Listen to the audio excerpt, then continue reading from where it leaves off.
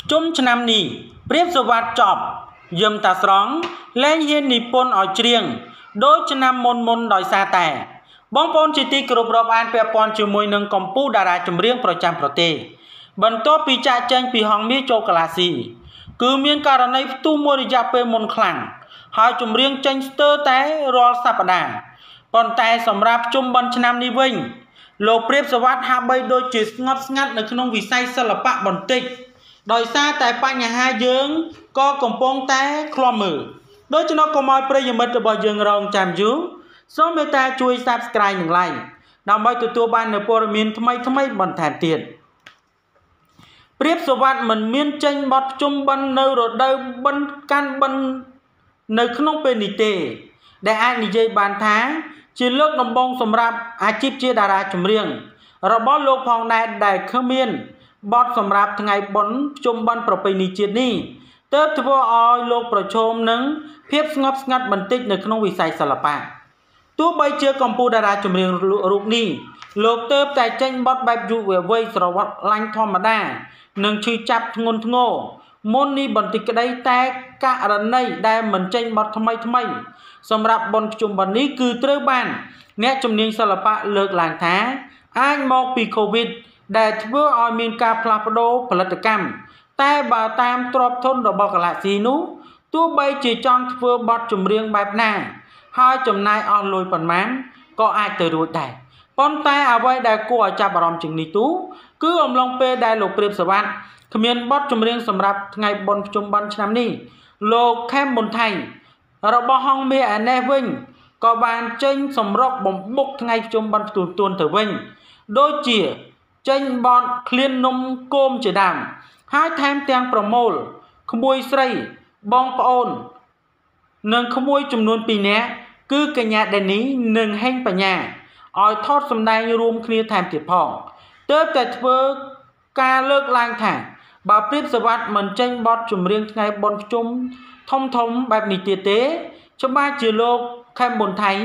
មានព្រៀបជាងលោកព្រៀបសវត្តជាជាមិនខាន លោកយឹមតាស្រង់អ្នកគ្រប់គ្រងផលិតកម្ម Galaxy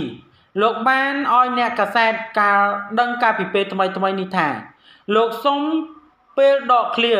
ពីការផលិតបទចម្រៀងបែបប្រពៃណីជាតិដូចជារំវងកន្ទ្រឹមឡាំលាវមួយរយៈសិនហើយប៉ុន្តែអតីតអ្នកនិពន្ធថោនរូបនេះថាគ្រាន់តែជាការដកឃ្លាដើម្បីរៀននិងធ្វើអ្វីដែលមិនធ្លាប់មានពីមុនតែប៉ុណ្ណោះប៉ុន្តែដាច់ខាត គឺមិនចោលឧបករណ៍ភ្លេង និងបទប្រពៃណីខ្មែរឡើយគេចាំបានថាអំឡុងពេលដែលព្រាបសវណ្ណនៅហងមាសគឺលោកជោគជ័យខ្លាំងនៅលើបទប្រពៃណីខ្មែរផងដែរហើយដូចជាបទចាប់ដៃគូច្រៀងកន្ទ្រឹមជាមួយនឹងអ្នកនាងខាត់សុខីមជាដើមប៉ុន្តែមិនទាន់បានកំណត់ពេលវេលាថាបទចម្រៀងប្រពៃណីធ្វើការច្រៀងឡើងវិញរបស់កាឡាស៊ីនេះ នឹងធ្វើឲ្យជះឥទ្ធិពលដល់កម្ពុជាតារាចម្រៀងព្រាបសវត្តជាជាមិនខានព្រោះសមត្ថភាពរបស់លោកមិនបានបញ្ចេញឲ្យអស់ខណៈដែលកន្លងមកមជ្ឈដ្ឋានមហាជន ដែលគ្រប់គ្រងលោកព្រាបសវត្តក៏បានលើកឡើងដែរថាតាំងតែពីលោកស្នាយនេះទៅចូលក្លាស៊ីជាង1ឆ្នាំមកនេះលោកក៏មិនទាន់បាន មានបទចម្រៀងមួយបទណា ដែលប្រើប្រាស់សម្លេងរបស់លោកឲ្យខ្ពស់បំផុតអស់ ដូចនៅក្នុងផលិតកម្មហងមាសនិងច្រៀងនៅហងមាសដែលជាផលិតកម្មចាស់របស់លោកអ្វីត្បិតតែអ្នកជំនាញសិល្បៈលោកលូស៊ីបអះអាងគិតត្រឹមឆ្នាំ2021នេះព្រាបសវត្តមិនធ្លាក់ប្រជាប្រិយភាព និងអាចដណ្ដើមតំណែង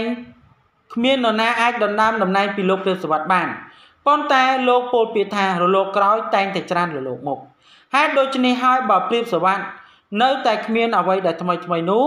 ច្បាស់ណាស់ថាលោកខេមប៊ុនថៃដែលជាគូប្រជែងជាមួយនឹងលោកជិត10ឆ្នាំហើយនឹងកាន់តែមានសង្ឃឹមខ្ពស់នៅក្នុងការស្នងតំណែងរបស់លោកជាជាមិនខានដូច្នេះព័ត៌មាននេះមានប៉ុណ្ណឹងដើម្បីទទួលបាននូវព័ត៌មានថ្មីថ្មីបន្ថែមទៀតសូម Subscribe និង Like